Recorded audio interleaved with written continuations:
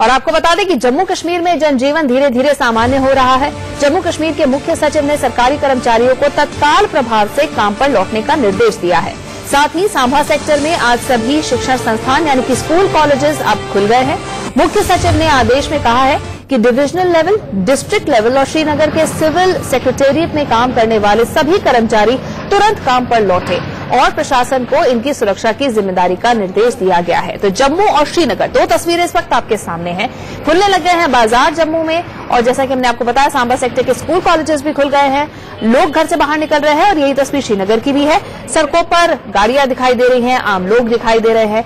कल प्रधानमंत्री मोदी ने भी जब देश को संबोधित किया था तो उन्होंने कहा था कि ईद जो है वो अच्छी बनेगी इस बार, और सब कुछ सामान्य हो जाएगा ईद तक। जो तमाम कर्मचारी हैं अ, उन सबको कहा जा रहा है कि वो काम पर लौटे और प्रशासन से कहा गया है कि उनकी सिक्योरिटी सुनिश्चित की जाए।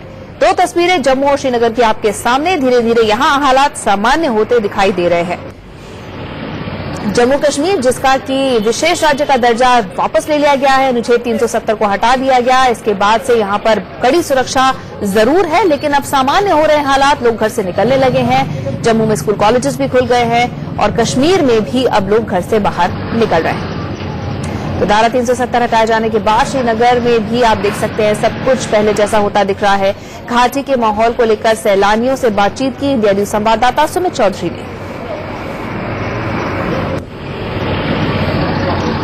श्रीनगर में कर्फ्यू लग जाने के बाद टूरिस्ट लगातार यहाँ से जाने का ऐलान करा हमारे साथ कुछ लोग और भी हैं। मैम, आप कहाँ से हैं? फरीदाबाद से। फरीदाबाद से। आप दिल्ली मतलब दिल्ली के लिए फ़्लाइट आपकी है हाँ हाँ।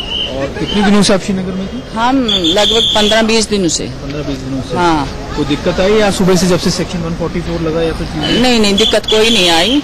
लेकिन हम खुद ही बच्चों ने वहाँ से वो किया कि आप निकलो निकलो। अभी तो हमें रहना था।